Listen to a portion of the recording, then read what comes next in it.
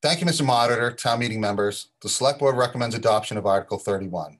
The town supports the CPC's recommendation for the design to understand how to best remove this sediment to help with NPDES requirements.